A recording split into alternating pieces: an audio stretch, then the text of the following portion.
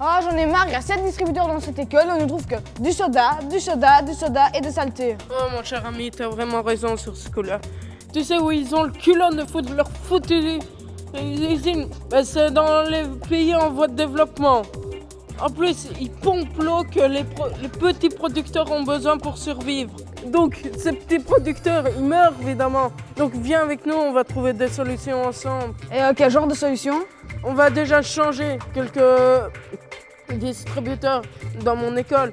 Déjà, mettre deux, trois distributeurs Oxfam chez nous à la place de ce fameux distributeur. Comment est-ce qu'on va réaliser ce projet? Et tu vois, euh, le, directeur de la ferme, là, celui qui se prend un peu pour euh, le roi du monde, là, Ouais. tu vois? Bah, on va l'inviter, là.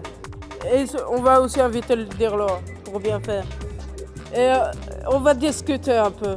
On va lui dire, on va essayer de trouver une bonne solution ensemble, trouver un, un terrain d'entente.